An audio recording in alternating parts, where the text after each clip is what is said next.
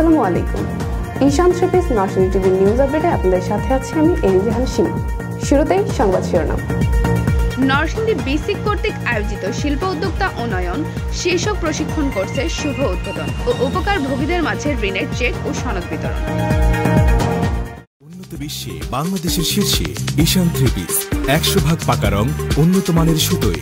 বাহারি রঙের ডিজাইনে তৈরি হয় ঈশান থ্রি পিস মোকাম শেখের চর বাবুরহাট নরসিংদী এবারে বিস্তারিত দেখুন সৈয়দ ইমরান হাসানের করা প্রতিবেদনে। পাঁচই মার্চ দু হাজার বাইশ বাংলাদেশ ক্ষুদ্র ও কুটির শিল্প কর্পোরেশন কর্তৃক আয়োজিত উদ্বোধনী অনুষ্ঠানে প্রধান অতিথির আসন অলঙ্কৃত করেন জেলা প্রশাসক ও জেলা ম্যাজিস্ট্রেট আবু নঈম মোহাম্মদ মারুফ খান।